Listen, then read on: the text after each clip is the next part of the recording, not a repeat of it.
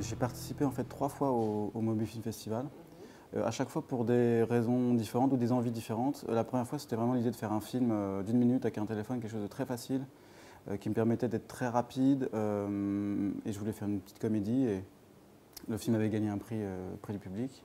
J'ai continué avec un autre film, puis un, dernier film qui, cette fois, avait remporté le, Grand Prix et le prix de la meilleure actrice, qui s'appelait Longue Tristesse. Je crois que ce que j'ai voulu faire dans ce film d'une minute, c'était de chercher une émotion de cinéma euh, entre deux acteurs et savoir si finalement en une minute on pouvait travailler, euh, faire, germer une émotion en fait. Je, pense qu'en une minute le film a réussi à, capter euh, des années de non-dit dans le couple.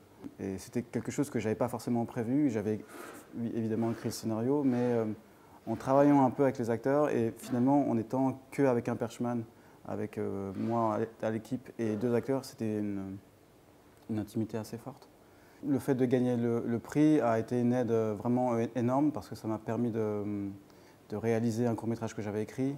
Euh, on a commencé le financement avec la bourse BNP euh, et puis on a multiplié par, euh, par 5, par 10 même le budget. Donc ça a été un, court métrage bien financé qui est, qui, est, passé sur Canal+, ce qui m'a fait enchaîner sur un autre court métrage qui est passé sur Arte, qui était au César en 2016.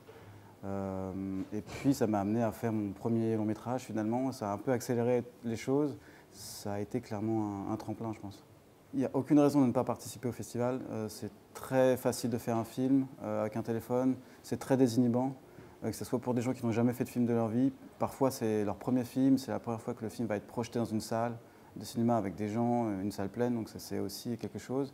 Et de l'autre côté, vous avez des, des du cinéma, des gens qui ont envie de faire des films vraiment, qui font des études ou qui ont déjà fait des, films, euh, qui vont aussi tester euh, des choses, qui ont travaillé avec des acteurs, euh, écrire des histoires, et ça va vraiment, je pense, les, les désinhiber. C'est vraiment le mot en fait. C'est tellement finalement un acte qui paraît très simple et très rapide qu'on on, peut être assez surpris de, de ce qui en ressort en fait.